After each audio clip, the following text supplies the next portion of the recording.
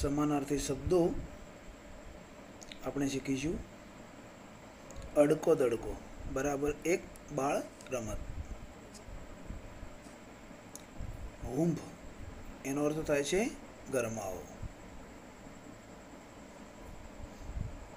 ઘારી, તો એક મીઠાઈનું નામ. ભીડ પડવી, તો તેનો અર્થ છે તંગી જણાવી.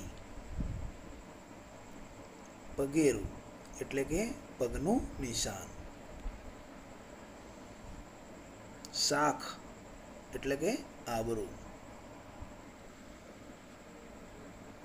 શાન, એટલે ગીરો. ત્યારબાદ અકબંધ, એટલે હતો તેટલો જ એને અકબંધ કહેવામાં આવે છે. ફિટકાર એટલે એને ધિક્કાર. અથવા અનાદર પણ કહી શકાય. અડીશમાં એટલે કે અડકીશ નહીં. જટ બરાબર ઝડપથી. અને જળ એટલે કે પાણી. ત્યારબાદ જટા એટલે અવ્યવસ્થિત લાંબા વાળ એને જટા કહેવામાં આવે.